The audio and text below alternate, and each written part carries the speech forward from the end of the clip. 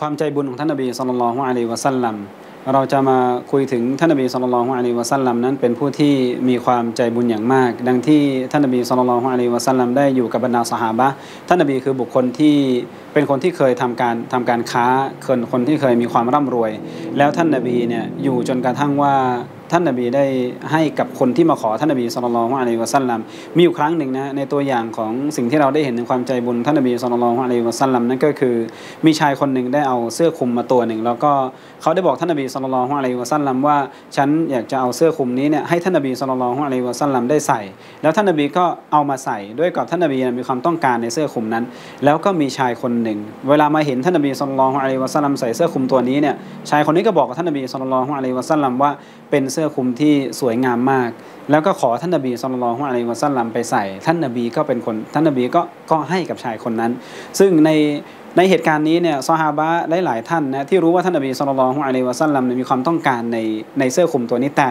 เขาได้รู้กันว่าเวลาท่านนบีได้ถูกขอเรื่องหนึ่งเรื่องใดเนี่ยท่านนบีก็จะก็จะให้ครั้งหนึ่งมีคนที่เป็นหัวหน้าเผ่ามา แล้วมาหาท่านนบีสุลต่านละฮ์อะลัยวะสัลลัมแล้วมา พูดคุยท่านนบี แล้วท่านนบีเห็นว่าเขาเนี่ยมีความที่อยากในการที่จะรับอิสลามแต่ยังไม่ได้รับ ท่านนบีก็เลยมอบสิ่งสิ่งหนึ่งให้เขาก็คือมอบแพะให้กับเขาไปฝูงหนึ่ง ซึ่งเป็นสิ่งที่ท่านนบีสุลต่านอะลัยวะสัลลัมนั้นนับว่าเป็นสิ่งที่มีค่ามาก ชายคนนี้เลยกลับไปในหมู่บ้านของเขา แล้วก็บอกกับกลุ่มชนของเขาว่าเขาเนี่ยไปเจอคนคนหนึ่งก็คือมุฮัมมัดสุลลัลฮุอะลัยวะสัลลัมเนี่ยเป็นคนที่ ให้โดยที่ไม่กลัวจน เขาก็เลยบอกกับลูกน้องเขาบอกกลุ่มชนของเขาว่าพวกเรารับอิสลามกันเถอะเพราะมุฮัมมัดเป็นคนที่ให้โดยที่ไม่มีการกลัวจน พี่น้องทั้งหลาย ท่านนบีได้อยู่ในบ้าน ในบางครั้งเนี่ยท่านนบีไม่มีอะไรจุดไฟ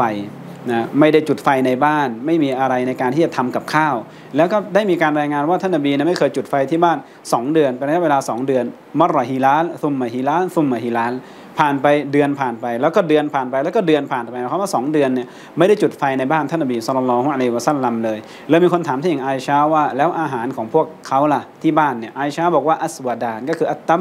วัลมะก็คืออินทผลัมแล้วก็น้ำตรงนี้มึงบอกให้เรารู้ว่า เวลาท่านนบีมีเนี่ยท่านนบีก็ให้ มีการแบ่งปันจนกระทั่งว่าในวันที่ท่านนบีไม่มีเนี่ยท่านนบีก็อยู่อย่างความพอเพียง โดยการกินในสิ่งที่ท่านนบีสุลต่านอะลัยวะสัลลัมมีอยู่เป็นประจำก็คือทั้งน้ำและก็อินทผลัม นี่คือแบบอย่างของท่านนบีสุลต่านอะลัยวะสัลลัมที่เราจะได้นำมาปฏิบัติตามในเรื่องของการมีความใจบุญ